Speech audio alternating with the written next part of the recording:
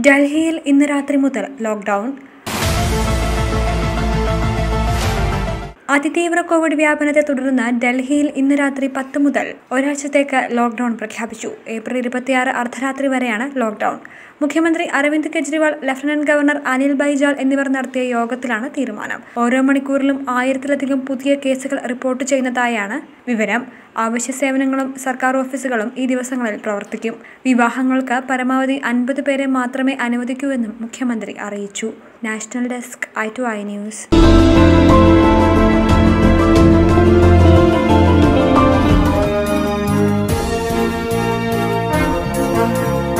I2i News, an eye for truth.